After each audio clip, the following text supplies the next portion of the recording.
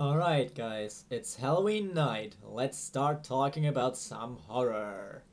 Hello everyone, it's AkaTrios here and I welcome you to this new video. Today we are going to talk about Crystron Needlefiber, the new Link monster that has been announced for Link Vrains Pack two weeks ago, which I already made a smaller video of, but I need to talk about this for Crystron.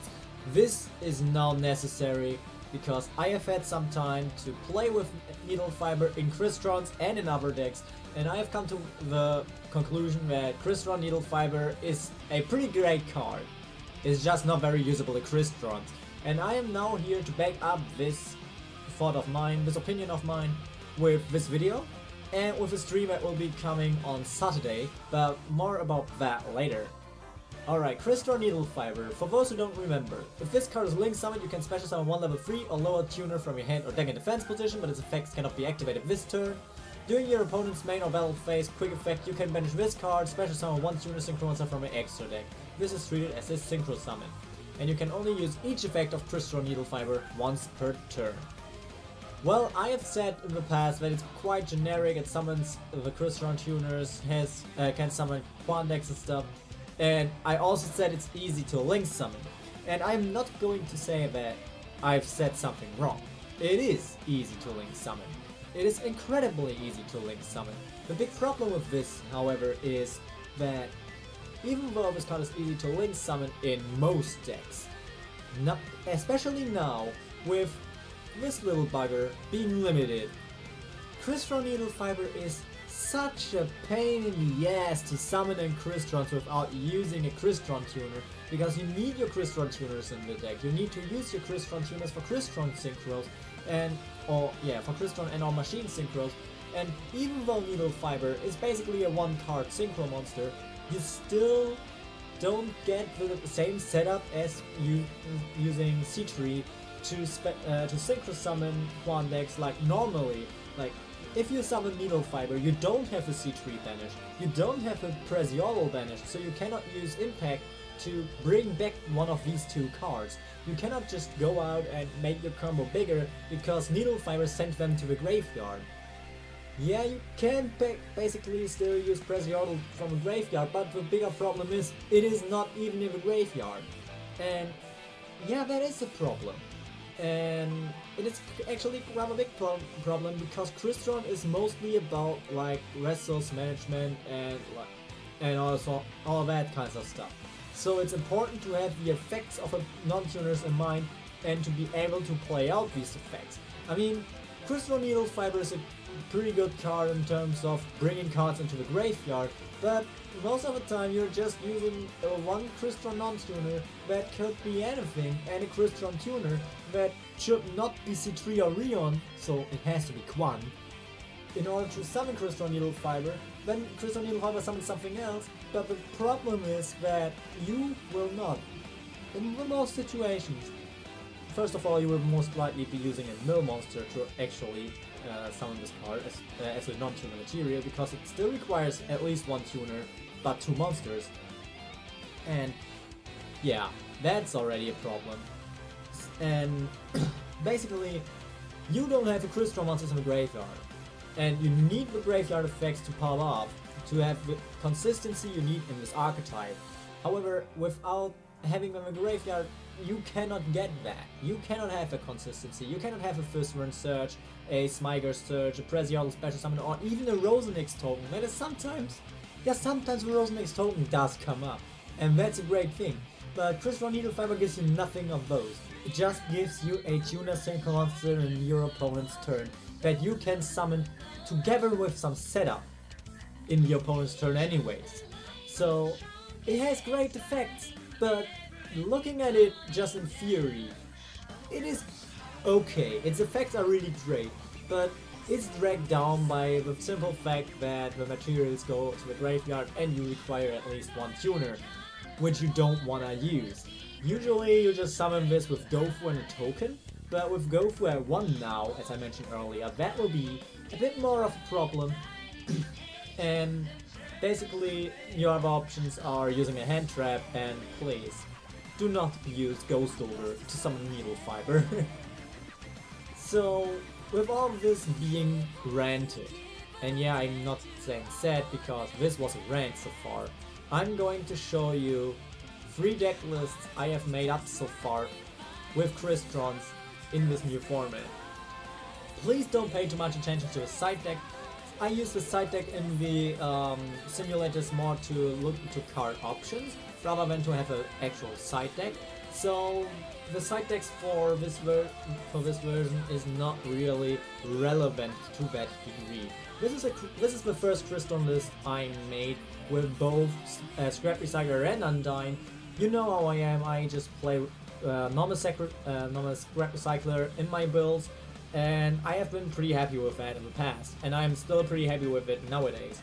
But I just wanted to try that out because I feel like after testing another version without Genex Undyne, which I will show you later, um, that Genex Undyne is actually needed in the deck in order to uh, to bring out Needlefiber in a semi-okay way, because uh, Undyne can dump Rosenix for uh, the controller, you banish Rosenix for the token, you make the token into a Link Spider, special summon controller from your hand, controller plus Link, plus link Spider uh, is Needlefiber. That is okay. However, you have to keep in mind that for Needlefiber you need a lot of different uh, tuner synchronizers and extract to make its effect count. It is uh, it treats the synchro uh, the monster special summons as being some for a synchro summon. So it does trigger from Formula Synchron and TG1 the Magician, and it can summon Life Stream Dragon, which is the most strange of all. But it does trigger those two cards, however you sacrifice not just your Link spot but also another spot for the Link Spider. Usually you just have one Link spot in Crystron's, if even. You can run two Link monsters but that's kinda hard. Like, you sacrifice too much Exodex space and Crystron Exodex are already tight as hell. And basically you have to sacrifice those two spaces and you have to sacrifice at least one space for either Formula and Quantum Magician and since we, this already requires me to get rid of the Cyber Dragon Infinity Engine, I can just dump both in because in, at this point it doesn't even really matter anymore. And this is something that is not as great. You're forced to play this engine to summon this relatively consistently and you still need to sacrifice way more extra deck space than you even want to. I have this second list that does not run Genex Undyne, but because of that, summoning Needlefiber in this version is quite a bitch. I really need to run the Quan in this build, and I do not like that fact at all, because I need to use Quan, a real hard death draw if you draw it, in order to summon Needlefiber, and still, you don't get the um, setup you want. You will not have Prasiol banished, you will not have even Prasiol in the graveyard, so you most likely just get like a, a Stardust Warrior maybe. if you're lucky you get a Stardust Warrior, but all in all this is just not as fun or not as good. I wanted to go for less um, like monster space waste because of uh, in favor of more traps as you can see so going further with, with this deck ends in more disruption. So in that uh, situation I went for a double mathematician because that's also a 2 in the TCG. But to my um, sadness basically, this is way too hard to summon in that regard. So I have come to the conclusion, and this is this deck, do I really need to run a Link Monster? No. What is a Link Monster for in this deck? To extend plays and to give us more um, setup. What does Needlefiber try to do but sadly fails at? Giving us the resource management for its uh, for its play extensions. It does give us the play extensions and that is what I really like about the card. This card can give us more plays. However, coincidentally, this card is also not giving us any consistency. It does not drop a Fizzler, it does not drop a Smiger. If it had one effect that drops a monster from a deck to a graveyard, it would be so broken for Chris Crystrons. But as a matter of fact, it doesn't. And that, makes this card so bad in Crystrons that I am actually really bad, at, uh, really sad about it, because using a tuner for its summon is already a sad thing, and in Crystron's because you have to use either a Gofu token or a hand trap or a Crystron uh, tuner. And you really don't want to use Rion, you really don't want to use C3, so you are kinda sad about that already. And yeah, as I said, that's just bad. However, that still doesn't mean that Needlefiber is a bad card. I have made multiple decks. I have made like Rokket, and I use Needlefiber and Rokket. I have made Dinosaur Invoked, and I use Needlefiber and Dinosaur Invoked. By the way, on the stream I will also play Dino, uh, Dino Invoke. I have made Vendread, and I even have a, have a Needlefiber in Vendread. Also, I still have a free go from Vendread. That has to change. But all in all, Needlefiber is a great card. Uh, let's go for this. However, it does not help us with our strategy, and that is what is bad about this card. It is a very, very good card for many, many decks, in, but it's just not good for Crystron's. It is not what, Crystron's want to have, or rather, it is what Crystron want to have, but it is not enough. And that is the sad reality about Crystron Needlefiber. And I hope this video kinda helped you understanding this. Like, I can rant about it for um, far longer, but I don't want to make my videos longer than 15 minutes, and we're already at 11 minute mark, and I still have one more thing to talk about. But this is what, this is my conclusion, and this is just an experimentalist, by the way. Don't get mad at me for not running Master Boy. Maybe it comes back, maybe not. I just want to test this list. And yeah, this has been everything for for the Crystron part. Now for the stream announcement.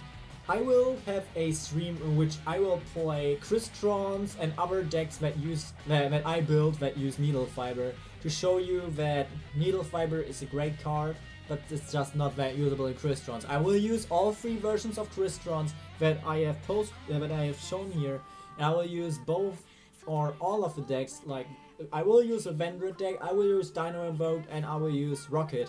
So I have six decks basically for the stream, three Crystron decks and three other decks with Needlefiber to show you that Needlefiber is a great card, but just not in Crystrons. And that stream will be on Saturday. Um, I am not really sure. I think it will be 10 p.m. Central European time. Please check what it is. We we just recently went from Central European Summer Time back to Central European time, so we went basically an hour back in time. And yeah, just so you know that has happened, and that's just for your information. Alright, but I have talking I've been talking for like way too long right now. Thank you all guys thank you guys for watching this video. I want to have your opinions underneath this video as well. This has just been me ranting about my thoughts about this thing. You have your thoughts, I want to know your thoughts. We can make this discussion live on, but we have to do it together. So please comment and fire up some discussion down there. You know I answer everything. This has been your AkaTrios, and stay Raven. Thank you guys.